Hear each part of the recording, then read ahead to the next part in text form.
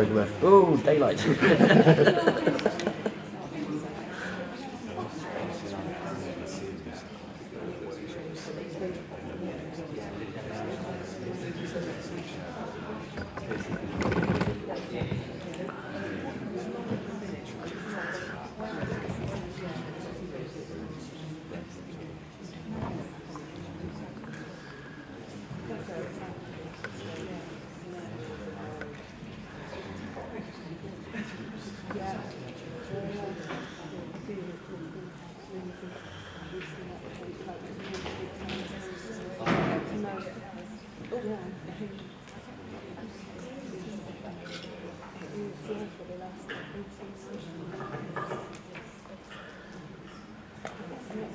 Alex Max.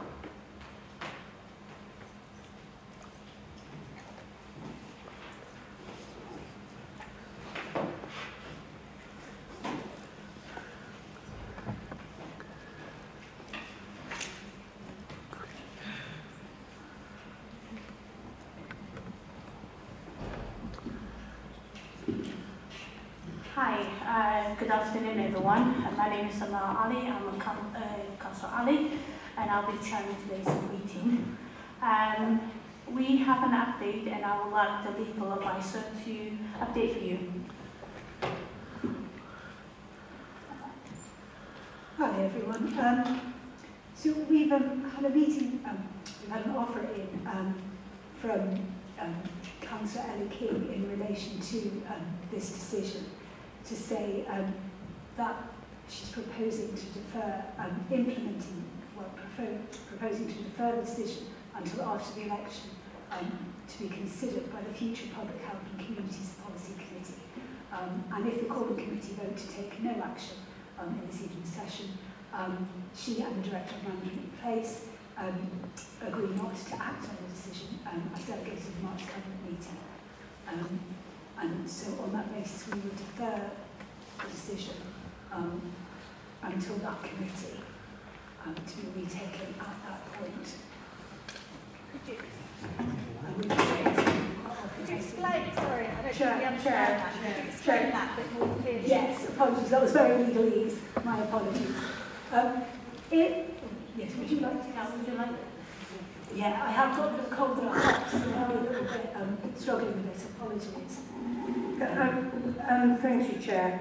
Um, I think really at this stage it would be really useful to have some context because we've got members of the public here, they're coming completely cold and not, are not aware of uh, the email that we've received as the panel I don't know whether it's possible for that, that email to be circulated so that members of the public can have a, a read of the proposal, but I think that, that we're really speaking here a little bit out of context because it, we're not framing exactly what the proposal is. I don't know whether it's appropriate at this stage to read out the letter and then obviously circulate it to members of the public, so it's publicly available if that's possible. Could I ask that, that also, That's okay, who reads it? could I ask that that also be circulated to us as well as So you haven't seen it either? Okay, so I beg your pardon, I'm sorry, I thought you had. I, I apologise for that. So we really need this, this whole thing framing and putting in context, and it'd be really useful by the chair if that could be done. Yes, it could be done, yeah. Um, So can you, I think you just need to invite Councillor King to can maybe you, speak to can you a speak? proposal. Yeah. Uh, hello, good afternoon everyone. Um, yeah, apologies for the short notice first of all, uh, panel. Um, but uh, at around four o'clock today I sent an email um, to the call-in panel um, inviting um, them to consider an alternative to the to the three suggestions that have been proposed so far. So far, um, I can read out the email. Well, I don't know how we would circulate it to who and how we would do that appropriately, but how about I read out what I was going to read anyway, which includes a reference to that. So my approach to um, allotments has had two key principles which I hope we can all agree on. Halting the decline of the allotment service, delivering service improvements, and secondly, protecting a struggling park service and continuing to invest in them so that all of Bristol's residents can continue to enjoy the benefits. If we can agree on these principles, then we must also agree that a rent rise is necessary. 2018 was the last year that rents were increased. A small blanket fee of £5 was applied to every tenant in acknowledgement of the impact of austerity. In 2020 we had COVID and a national surge of interest in allotments. I don't believe this was the right time to increase rents when we had a global crisis in which people's personal lives, their ability to work, socialise and their mental health was impacted in an unprecedented way. Then the cost of living crisis hit, and once again felt like the wrong time to consider an uplift. Alongside this, our council has been increasingly financially battered and bruised, a cost of operating crisis as described by our mayor. Sorry, Councillor Adley, is it okay if you just uh, talk about the letter, uh, the email? Yeah. I want to provide the context to it, so this is my full answer. Alongside this, our council has been increasingly financially battered and bruised, a cost of operating crisis described by our mayor, with one in five councils facing possible one, Section 114 notices in the coming years. Combined with that is the sharp decrease in resident satisfaction with their allotments and with their parks. The increase on the most common plot size, Plan B, with just under 50% of tenants on this size plot, is 75 pence a week. Doing nothing is not an option. I want us to have good quality public services that we can be proud of. I believe in the decision taken in this paper, and that was evidence-led, and it was undertaken in good faith. But this unlocks our ability to improve the service and the satisfaction and pride of our food-growing residents significantly. Brighton's allotments were in the news this week, with allotmenteers asking, is the allotment service broken? Citing a lack of inspections, overgrown and unused plots, poor site rep morale, fences and gates not maintained, and emails not being answered. Over the years, I've heard similar dissatisfaction from Bristol's allotmenteers, so this has been a difficult decision, but I do believe it's the right one made in the right way. I'm disappointed that it's been called in, which feels particularly cynical considering we had two community scrutiny sessions with no alternative solutions proposed by councillors. Shortly before the call-in meeting, I wrote to the committee to propose that we defer the decision to the first meeting of the Public Health and Communities Committee after the election. This is an opportunity to embrace the collaborative potential of the committee system and to enable cross-party members to take ownership of the policy. I would particularly look forward to proposals by members of the call-in group and would welcome the opportunity to work together on this. Thank you. Um, Um, we, we offer the opportunity to get the details of what was in the letter. Because right at the last minute, we've had concession and a pullback, which is welcome, which should have happened a long time ago. And we've, we've got this quite a lot of expense that people to controlling, which should have been completely unnecessary. I didn't want to hear a justification yeah. for what had happened. I know it's supposed awful, but people here wanted to hear your justification either. Just a factual situation that effectively the decision has been withdrawn on an odd basis we can proceed.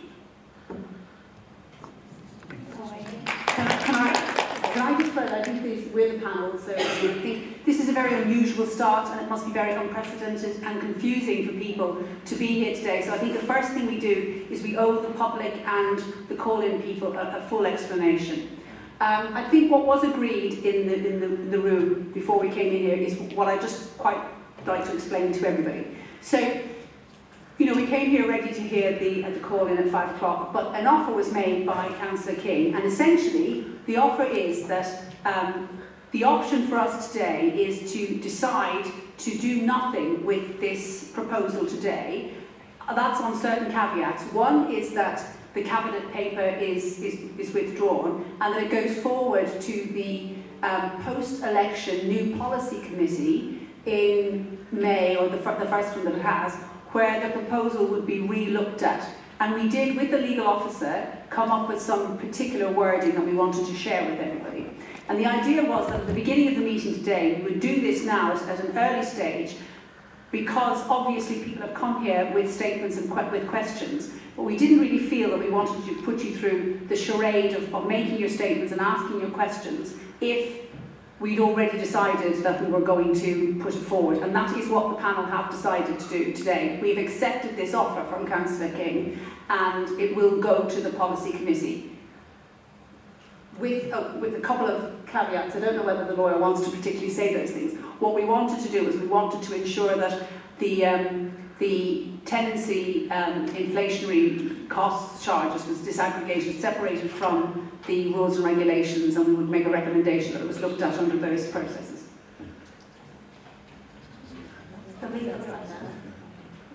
So that's where we are. That would be. So let me know if you can't hear or understand. My apologies. As I say, I've had a cough and a cold. Um, so the um, what the um, subcommittee would like to do in this forum now is um, to resolve to take no further action provided um, that the officer and the relevant member give an undertaking not to implement the cabinet decision um, and that the relevant policy committee will, after the elections, um, retake this decision, um, considering whether any further information is required um, and taking into account the issues raised in the call-in. Um, and they'd like to recommend to that committee that they break the decision down into looking at the rents first and then at a further point um, looking at the regulations that affect allotments. Uh, yeah. Me? Yeah. Okay. Thank you, Chair. Um, I've got a, I'm a little bit confused. Apologies. I'm a te- so I'm just going to ask. I'm, I'm, with respect, I am talking. I'm, well, sorry, I'm a bit confused because I'm about to ask my question. Yeah, go on then. Who's not part of the panel? Councillor Forrest is not part of the Corner Subcommittee. Would, would it help, Chair, if we were to display the letter on the screen at this point? With, excuse me, with the greatest respect, I'm really sorry. I have a question. Who's not on the panel? There's different conversations going on here. I'm a bit confused. And I have a question. Sorry? We're the partner. Everybody on this Can I, can I just No, no, but I, am I I, just ask? I have a question. You explain, as the chair, what... You explain, as the chair, it's your duty to manage this meeting and exactly explain who can speak and who can't. Because if, if the appellant can't speak, you need to let them know. And you, if they can, you need to give them an opportunity. But eh, they're, they're confused, these guys are confused, there's a lot of confusion around here, and it's, it's not actually productive. So you need to get hold of this meeting and start chairing it. I think, Councillor Ali, what we agreed was that we, the, the whole point about this is we sort of lost sight of the chronology of what we expected to do when we came in here. The chronology we expected was that rather than go through the whole public forum um, element of it, we wanted to, under chair's business, make public the decision that we have come to. We're obviously going to have to vote on this in, a public, in the public meeting at some stage. But the chronology was we would make the announcement so that people knew the context. We would then chair, we, we agreed, we would then offer the public the opportunity to ask their questions and make their statements if they felt it was still relevant. And then at that point, and only at that point, would it come back to us for a decision. I think it also probably would be fitting to offer the, the, the people on the call-in panel an opportunity to ask questions or whatever. Um, so it's, a, it's up to you now whether you decide you want to have to speak to the public first, which is, the, which is on the agenda, or speak to the panel.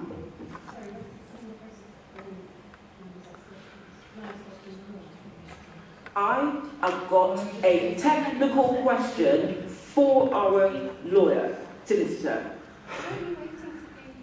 Pardon? Only I was talking and you started talking with respect and then I did not even get a chance to ask my question. Uh, sorry, can I ask you for one minute? Just hold on. Let me just clear things up.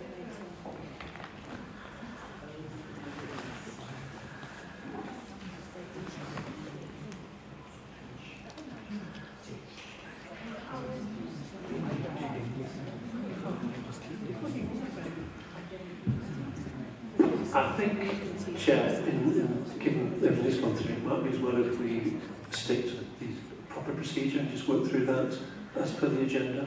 We need clarity. Whatever we do from this point on, the chair needs to give some clarity as to who can speak, who can't, and what the process and procedure is going to be to get to this decision. So Can I, can I, can I, make, can I make a suggestion? Yeah, go on. I, Go. I would suggest that we uh, take the public forum first. then? Um, in the context that we've had the discussion so far, uh, all the questions and all the statements have been read by members. Uh, if members don't wish to present their statements, but that's fine in the usual way. I would then suggest that we allow uh, Councillor Fodor and the councillors would call in the committee to speak and present their case. They may wish to just to say their case. If there be any questions, if members have any of that, Then Councillor King, although she's already speaking, she's given another opportunity to present her case. Questions from members of the committee, Councillor King, and then there's a debate and the decision is taken. Okay, and obviously there hasn't been a formal vote at this stage. So members may wish to work for the procedure in, in a rather more quick way than we may have done it if it had been a full hearing, but I would suggest we stick to the procedure and work through that in that way.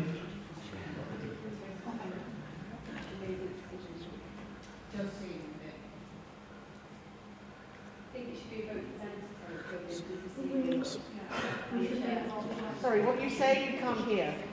We should take vote, isn't? Because we already made this decision. I think what we agree, and the most important thing for me, is that the public have turned up here with statements and with questions. And I think what you, said, Ian, is absolutely right.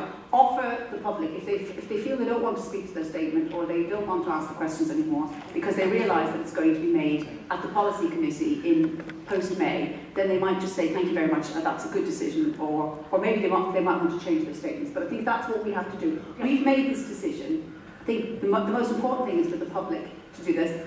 I don't really think that, you know, that the call-in committee, it's been, the decision has been, has been arrived at by us. So, you know, the, the call-in committee uh, have, has. With, with respect, we called this meeting because we've called in a, um, and we've not been given the opportunity to speak. Do But you wait for until your turn? Do you wait for until your turn, please? so I didn't know anyone had any turns. You haven't called anyone. Because we, we're going, as a procedure, we, we're asking the panel, then we can ask the public, then we will come to you. Thank you, Chair. I don't think it's for us to tell the public they can't speak because it's it's We their, give, we give the public it's their choice. But what I would suggest is if they want to postpone uh, their contribution, that they, they be told that anything they put in goes to the policy. When Everyone like the public speak. Yes, can I, can I ask someone to give the mic to that fellow? Oh, sorry, yeah, sorry, sorry, yeah. Can, can I just say something very quickly? please? You know, many of us would still like to speak. We understand the situation is rapidly uh, evolving and changing. But if we are going to speak, can we please have a microphone? Yes, you will have a microphone, yeah. Thank you.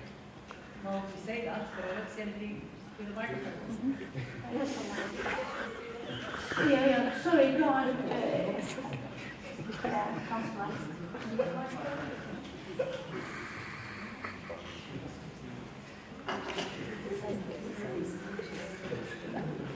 you.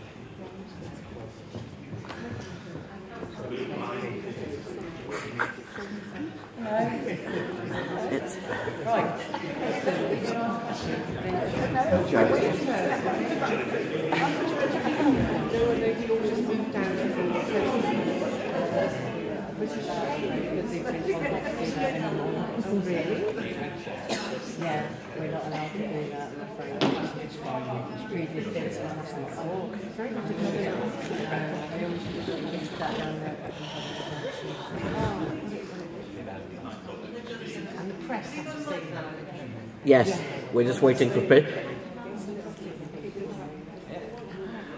Okay, so it's questions first. Have we got an order of... Yeah. Could you, can you organise yourselves so that we get one after the other, if that's all right? we're expecting the chair to read out the list. Yeah. Oh. Can we have Tom, please? Tom? Tom? No, Tom's not. No, Tom. Uh, Lauren? Is, is Laura Lynn? Is Laura Linfield here, please? Lorna. Lorna. Yeah. Speak right.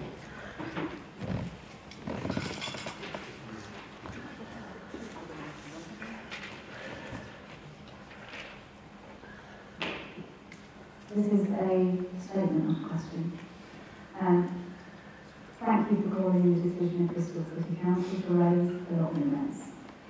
I have advanced cancer and ME. I live without support and am unable to work. As a, disabled person who filled in the council's consultation questionnaire, I don't feel that my views were taken into account in the equalities impact assessment. In the council's report, it said that over 75% of disabled people who filled in the survey disagreed with the rent that the EIA did not identify any potential impacts on disabled people.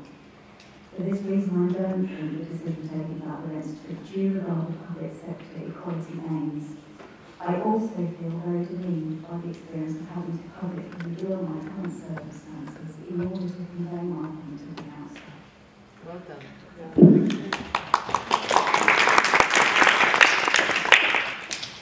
Thank you. Um, Christopher?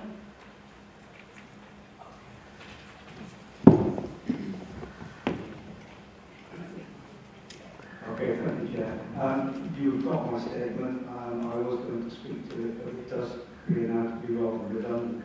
Uh, what I would like to say is, if I understood this correctly, with that caveat, then the decision is being pulled back and will be re-examined afresh by committee following the elections in May.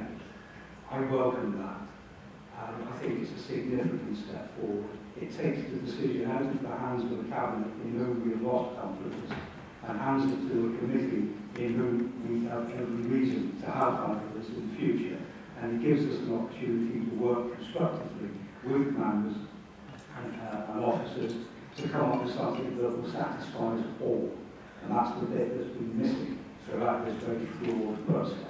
Thank you.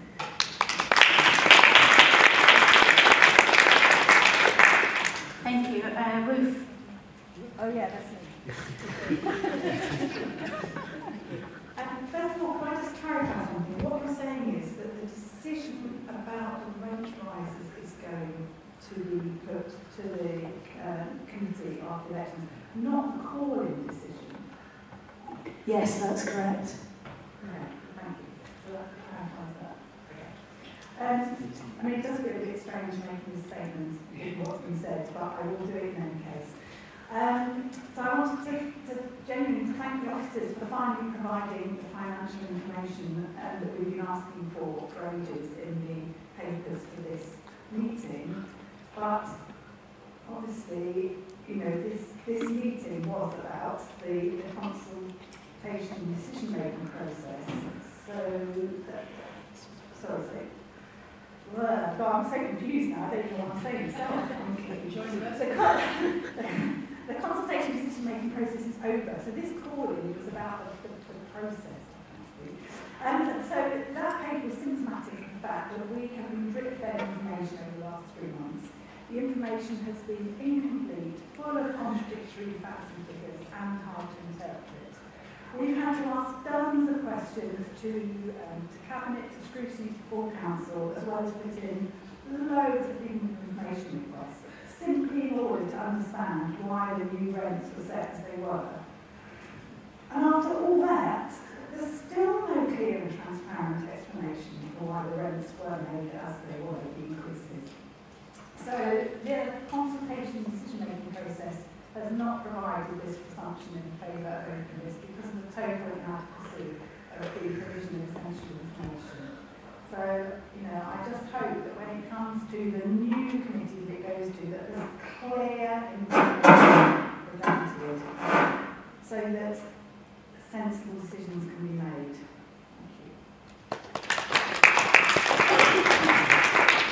Thank you. Thank you uh, Joanna.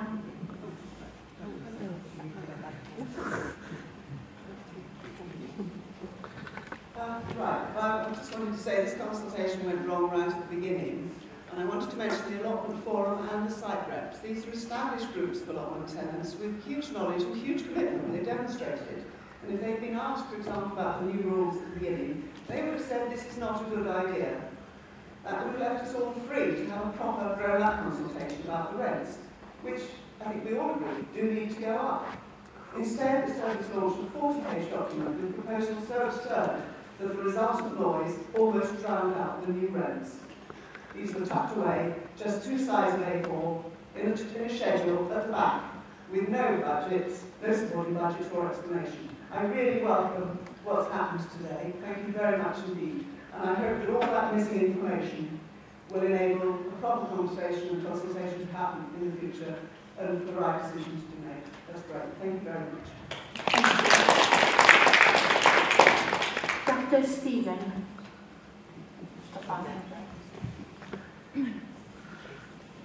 Thank you. Thank you very much. Um, it is hard to react on the hoof to uh, information that we have just learned 10 minutes ago.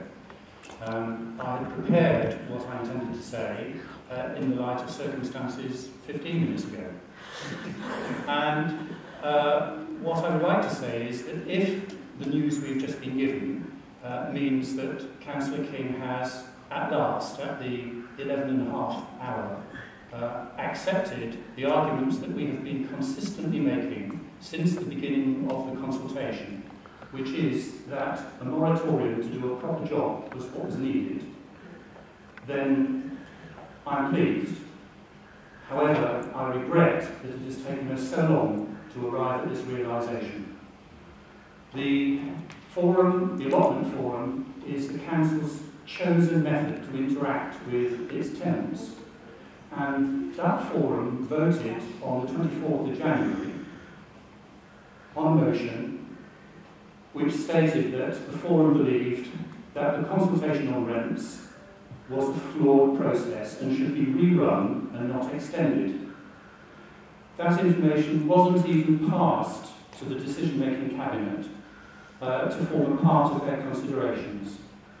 And this is a shameful abusive process. And if uh, Councillor King has now accepted uh, what we have consistently said, Sorry, which is the process, also, if you could wrap it up, it's one minute we have. process has been abused, then we accept her recognition and we welcome it. Thank you.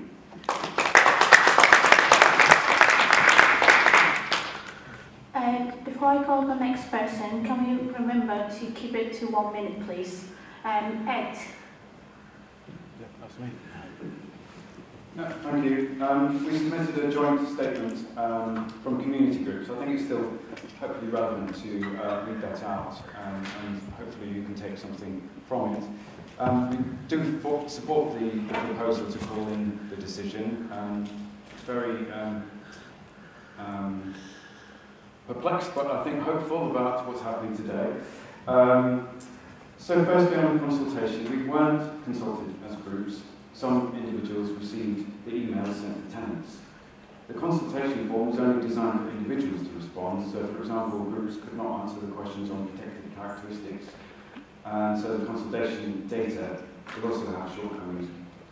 Um, the Council continued with their original proposals for rent calculations and water charges without any discussion of alternatives. We don't think that meaningful consideration was given to the consultation responses.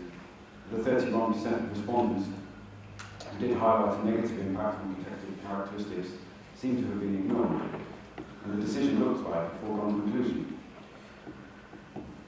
More information should have been supplied with the consultation, certainly before the decision, and some important information was only published after the decision. In terms of equality aims from the FOI request and information held in community groups, it's clear that the Council does not yet have a good grasp of the range of community groups, their membership and reach, nor the roles they play in building diverse and inclusive communities. Yes. So um, we welcome the decision to, um, to, to revisit this um, following the election. Thank you. Can I everyone, please, stick to one minute. Uh, Tim, please. Oh, sorry, uh, Neil. Yeah, Tim? No, Tim. No, Tim. Okay, Neil. No. No. Okay, Christy.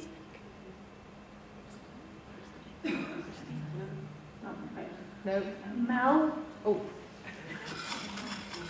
Yes. Yeah.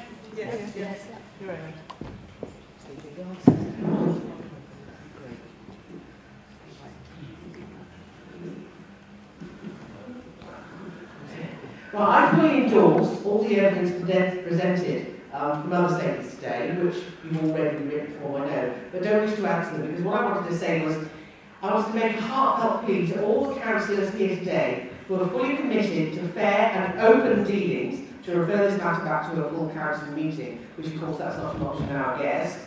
Um, where a properly reasoned and collaborative process can be followed to support, protect and defend our allotments for future generations. For this, any councillor here will be thanked and remembered by the thousands, the many thousands of us in over 100 allotment sites, community gardens and orchards spread throughout every part of the city and of course all our networks of family and friends.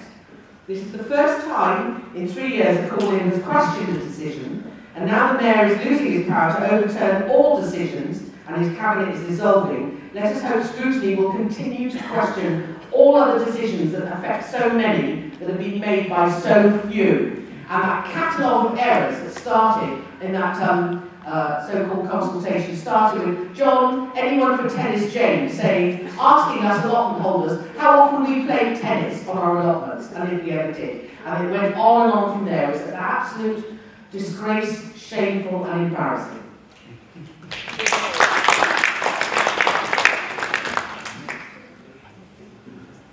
Um, okay, uh, Vanessa, please. No, no, no. No. Okay, Anne. Anna. No, no, no. Uh, Caroline. No, no, Okay, Katie.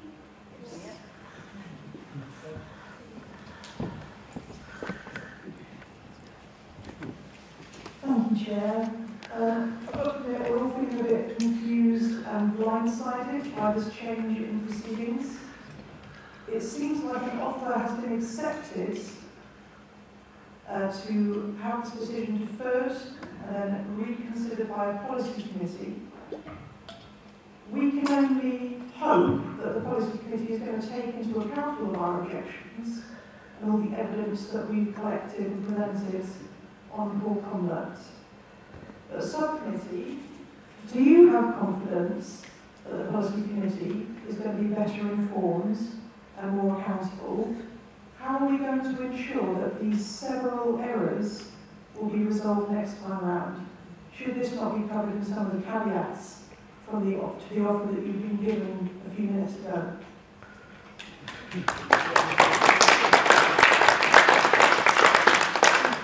Um, thank you. That concludes the public forum.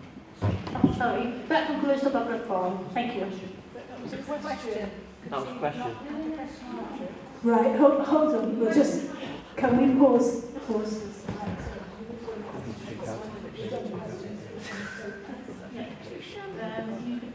Yeah. Yes. Right. Um, I think at this point in the meeting, we've got two options. Um, I, I appreciate members of the public that this is quite perplexing, that's an excellent word, um, as to which time it's taken, but I think it, it's probably hopefully clear now that the option is to defer the decision um, to the policy committee. Um, that's under consideration by the, the Call-in Committee now. Um, we could either, the Call-in Committee could decide to take this decision now, which of the three options they would like to go for. Um, the alternative is to follow all the steps of the Call-in Committee procedure and then at that point decide which of the three options they would like to go for. Um, I think the Corner Committee, that's a decision for you to make. If you could make that decision now, that would be great. Um, and we've heard, which is fantastic, um, contributions from members of the public who've come.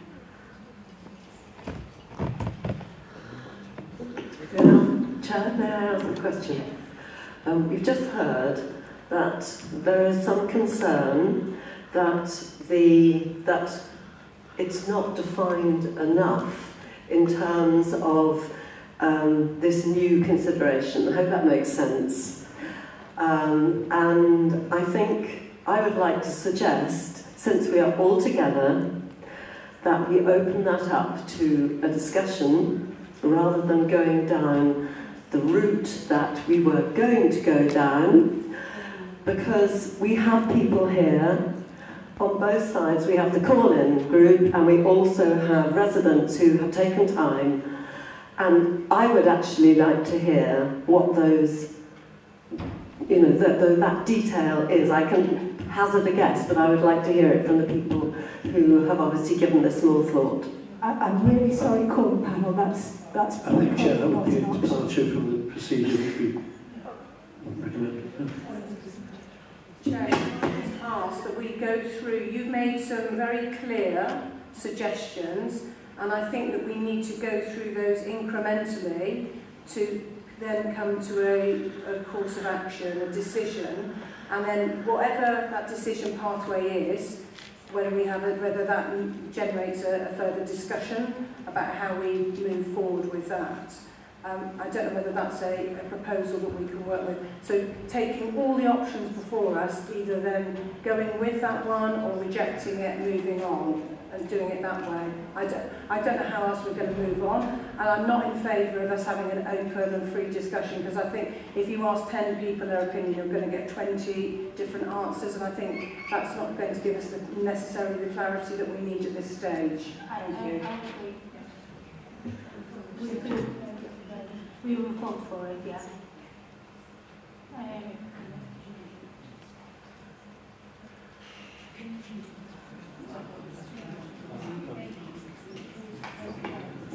Um, I think it would be worth, um, Sinead, just once again going over what we, what we actually recommended. So there's, there's some clarity and that that is properly, um, that, so, so you need to be really able to explain to everybody here what the recommendation is and then I think we could take a vote on it.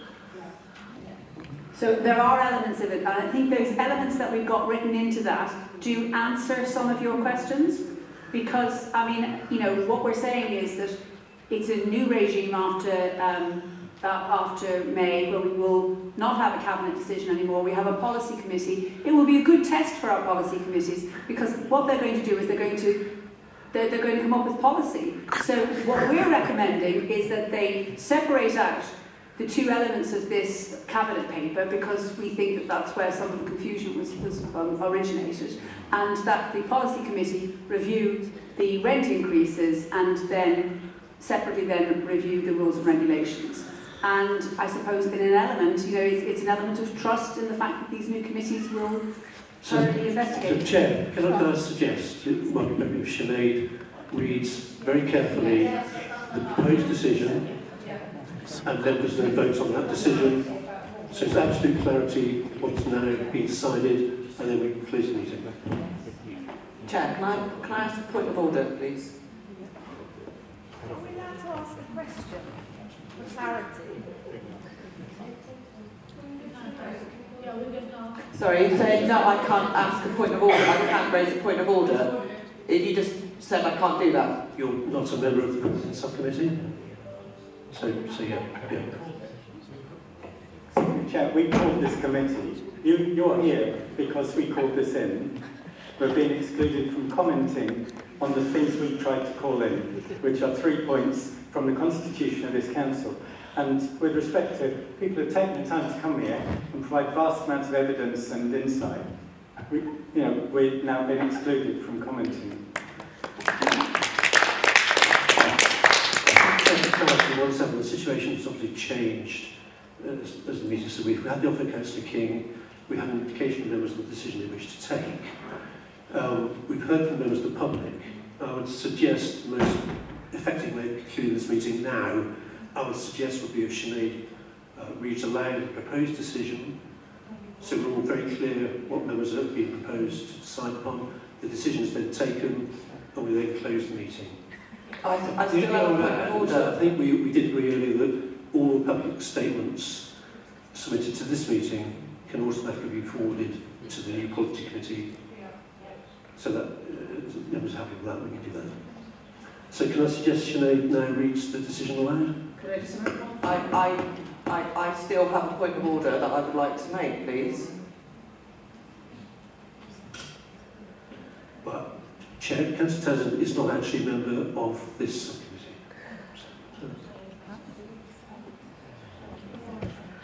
I just think a point for Sinead that one of the things that you might want to put into the proposal is that we, we also said that the policy committee would have sight of the public forum for this, but also the call-in papers. So they'll have a very good overview of exactly where they got to, and they can pick it up and then work with it from there.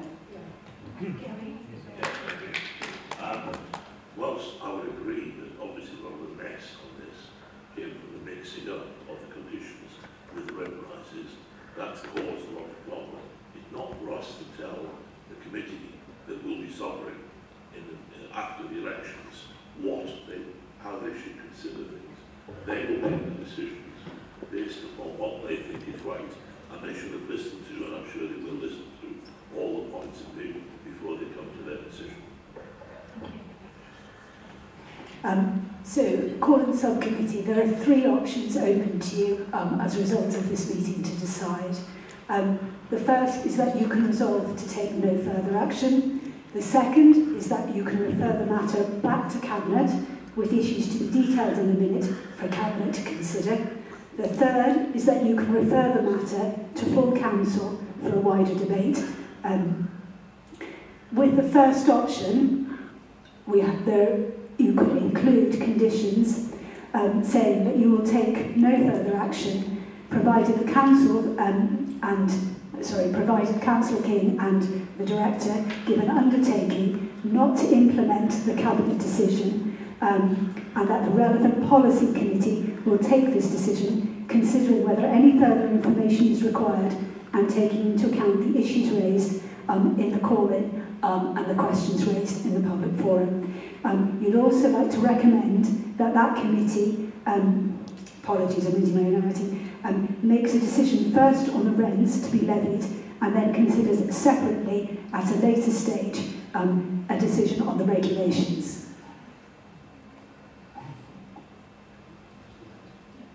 Can we move to the vote? Um, who's in favour of um, the first option? The first option. Who's in favour of the... So I propose the third option, which is the one you just read out, um, Ms. Sinead Willis. Second Secretary. Secretary. Secretary. Yeah, I call for vote. I actually, you know what, I'm slightly concerned. Sorry, I just think that the way that we dealt that those three options was a bit confusing. Yeah. I, I just don't know that that's Apologies. exactly. I mean, I think the proposal is that we, we, we saw that there were three options uh, coming to this committee, but we've had an offer of a fourth option, Yes. which we have accepted. Yes. And the fourth option is that we um, you know, as, as we're not going to read out Sinead's thing again, but that we, we, we refer the decision-making powers to the policy committee post, um, post the May election. So that's the fourth option. So, so I would propose, so, so allowing for all of the, I mean, I think you'll get a written up, you write up exactly what you've said. So those words are exactly what we're agreeing to, with the, with the caveats that are there. And we are now, I am now going to propose that we go for the fourth option, which was made at um, a, late, a late proposal this afternoon from Councillor King, and I would propose that we accept that proposal. Um, just, that's my fault, apologies. There are three options. The fourth option I gave is actually the first option, just provided an undertaking is given. Apologies for that lack of clarity there.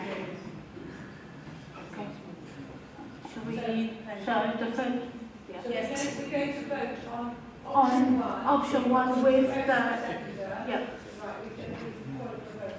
yeah, we are, yeah. Okay. Don't like the sound of that going I vote for. We're supposed to trust, are we? I vote for. For. For.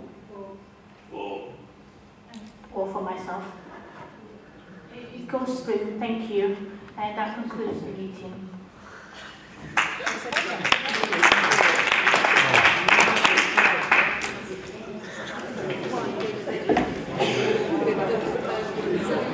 Yes.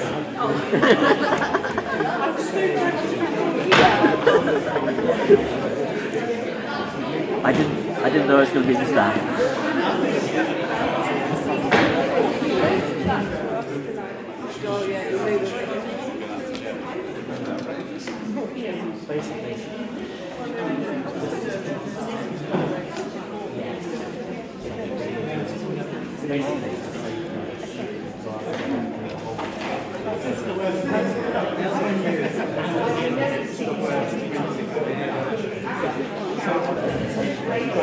bad.